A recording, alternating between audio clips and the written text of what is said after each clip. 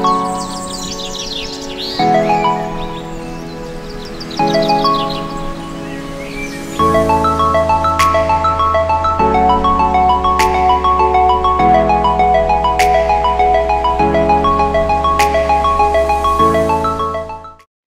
guys, welcome back to my channel. It is me, Heather B. Denture Diva. Welcome to Vlogmas Mixture with Denture Miss, I guess you want to call it. But today I'm going to be doing my morning routine. A lot of you guys have asked me, I know I have a lot of videos to go finding what I do, um, which I guess it's updated more since then. But for all of you that don't know me, hey, what's up? I handle dentures, health-related stuff. I have an, a second channel inside the Mind of Diva where makeup, skincare, vlogging, family stuff, everything goes on there. Um, everything will be in the description below. The arrow next to the title of this video, just click on it. Everything will come down between my Instagram. Um, I have now Heather B. Denture Diva public figure for Facebook. I have my denture support group. Everything will be linked down below. Um, so yeah. Oh, don't forget, guys, I do have, it's ending Thursday the 9th um, my Christmas decoration giveaway. Uh, you could scroll down in my videos. I'm sure you'll see your big bold letters. Um, and if you want to get in on it, get in on it. A lot of people are going to want to get in on this. But make sure you send me all of your Christmas decorations, all the pictures that you can, because the best one wins. Um, so I know some people right now just sent me pictures of stockings, which if people send me more than that, that person would automatically not win. So make sure you guys send me all your Christmas decorations, your biggest everything, and the best decoration person wins. Um, I do not have to post your pictures. A lot of people are private people and they do not want their stuff out there. I know a lot of you would want to see the decorations, but if the person wins, doesn't want it, I'm not going to force it in any way because it's Christmas decorations and it won't be the end of the world if they don't want to. It's their personal life, personal pictures. Everything is private between me and them unless they say otherwise. Um, so I'm gonna tell you guys my steps of what I'm doing. Changing things up. Normally I use Denture Fit, um, so I normally don't have to use adhesive, but I know a lot of you use adhesive, so I'm going to show you how I do adhesive when I need it and go from there. I'm going to take out my dentures and show you guys my cleaning steps. I use basically most of the Dr. B line completely. Um, this is liquid crystals. This is the only thing on the market that actually kills as much as it does between staph, strep, yeast, like it kills everything. Thrush is the biggest, biggest issue with denture wearers. You guys got to understand these are, this is a device and a lot of bacteria and infections are sitting in it and in our mouth. It's like keeping your fingers in your mouth all day. So always make sure you clean it. So I'm to take these out.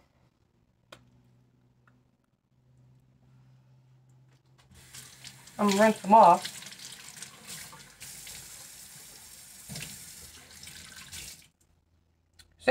Don't you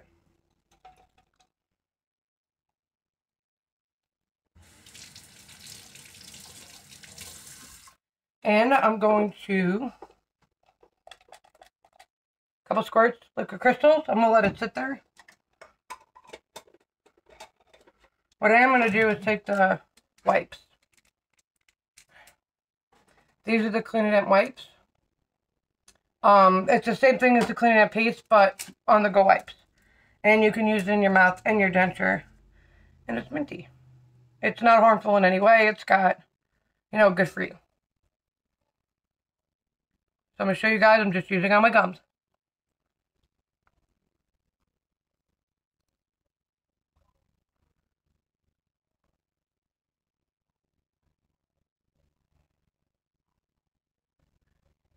I get up in there and make sure there's no food. No matter what, guys, it's a denture, and depending on how you eat, food's going to get stuck everywhere. Um, you can either take it out every time you eat, which is a waste of adhesive and takes longer to dry. Totally messes up your schedule. You can use the wipes that can, when you're in, your dentures are in, you can just clean your denture in there and get up top and try to get all this stuff out. But you can also chew with less food in your mouth. That prevents food from getting stuck up here because it's not being forced or pushed. So go from there. I am going to bring you guys down and show you what I'm using today. So hold on. Okay, so while this is going, this is the Cleanadent paste that I use twice a day. Um, it's got essential oils and stuff in it. It's also great for, you know, dry mouth. It's got vitamin A, D, and E, and aloe vera in it, tea tree oil, coconut oil.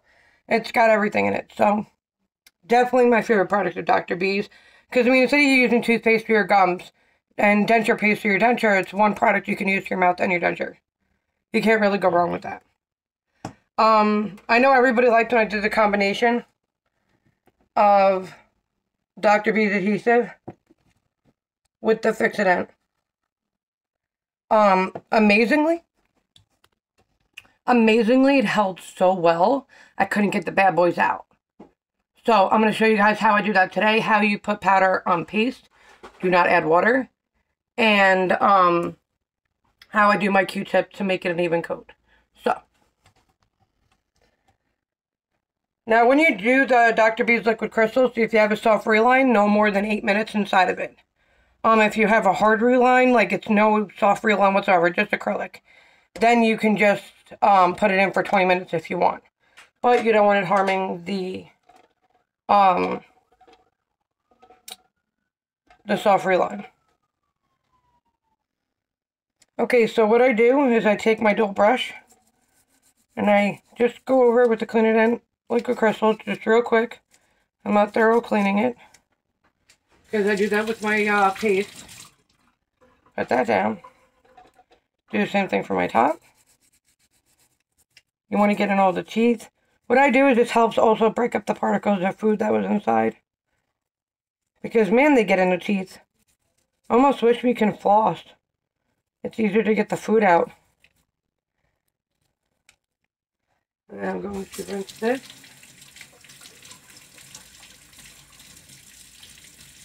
Get my and crevices.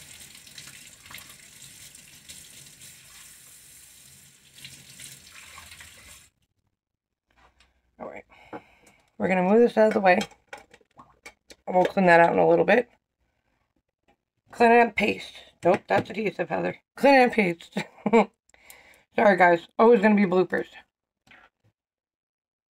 I put some. I do one at a time. I'll do my top. Please hold it carefully.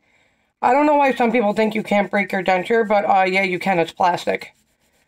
You drop it, it's gone. I posted a picture about um, when Adam broke his tooth. Uh, actually, his denture split completely in half. Um, that was because he dropped it right on his floor. So please make sure you guys are very careful. You know, it's not like a circle motion thing like you would with your real teeth, how they told you to do it. Up and down is good because it helps get inside the teeth. Um, but you can go any direction, guys. Any direction works well. You just get up in there. But make sure you're careful. You don't go against the soft reline. You go with it so you don't have any problems. You want to be gentle. And some products, guys, can ruin soft relines. So you want to be careful. Luckily, Dr. B's is not one of them. They're actually good. And don't mess up my soft reline. So, put that away. Now let's do the bottoms. Bottoms are not easy to hold when you're trying to clean them.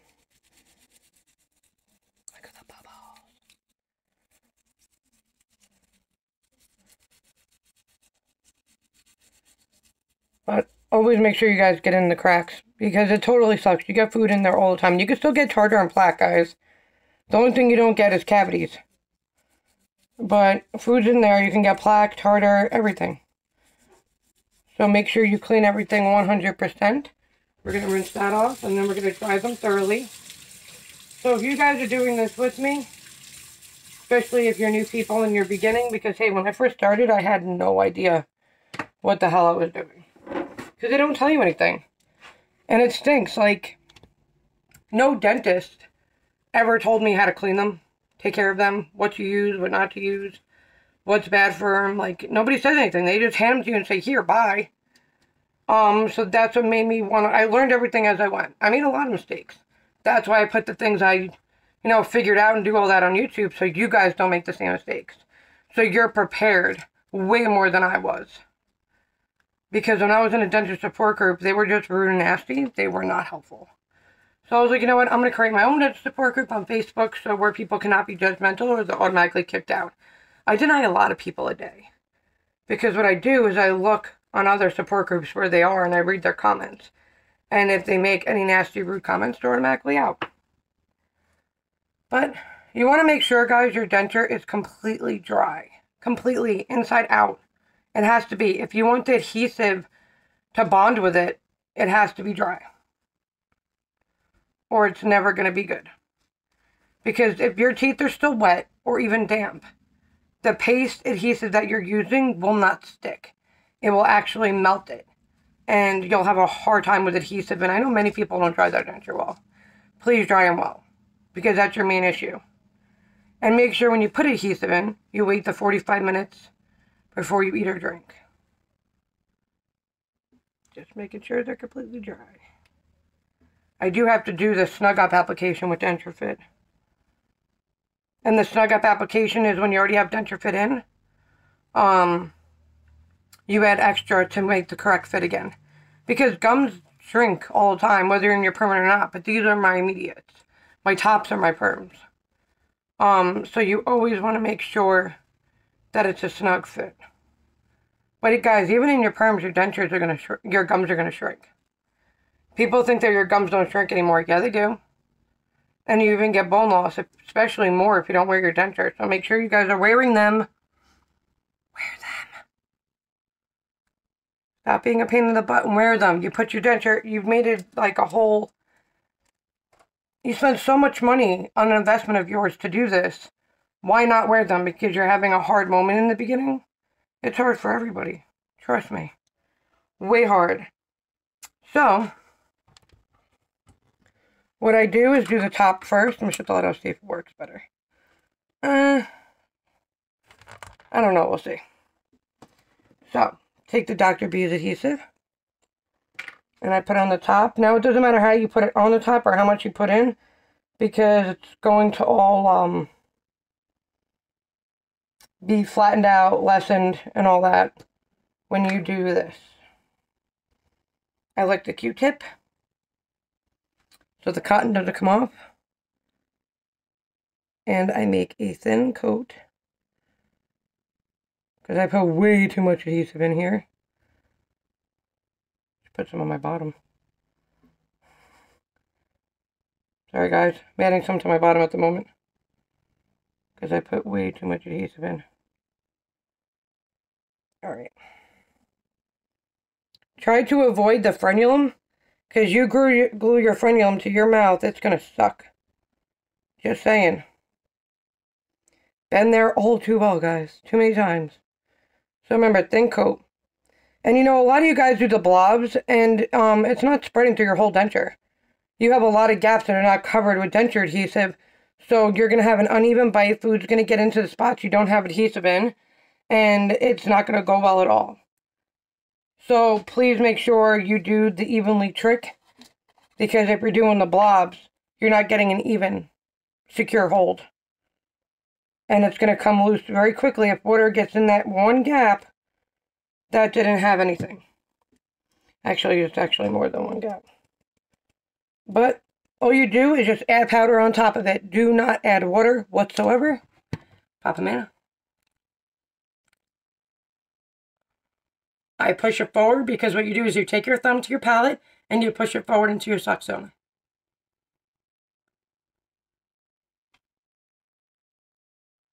Because that's where it's supposed to go.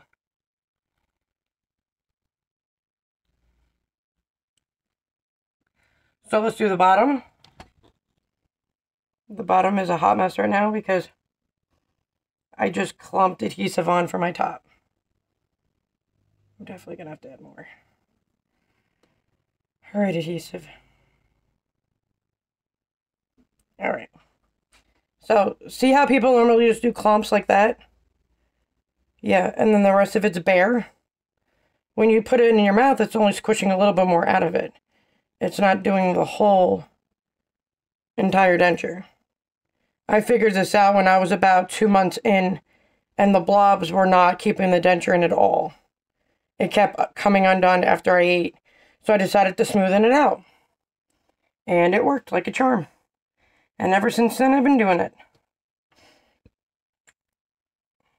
Then I take the powder. Like I said before, guys, you guys can save the powder. I normally don't use powder, so it would be a waste for me to even save it. Never add water when you're using paste. Only add water, and that's a spritz with a water bottle on your denture if you're just using powder only. Only if you're using powder only. How many times I've almost dropped my bottom? Many times.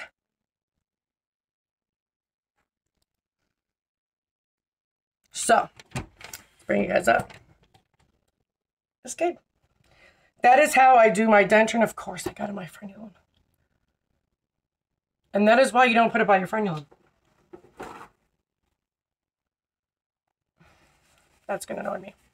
But that's how I clean my denture and put on adhesive. And then I'm good for the entire friggin' day. I will do the Snug Up application this week also too to show you guys if you already have denture fit in. Um, how you just add denture fit on top of it, which is very friggin' easy. I'm to show you guys how to do that. And if there's any other videos that you guys want to see, make sure you comment down below. Or you can private message me or email me and let me know what videos you guys want to see. But I hope you guys have a healthy, happy denture day later.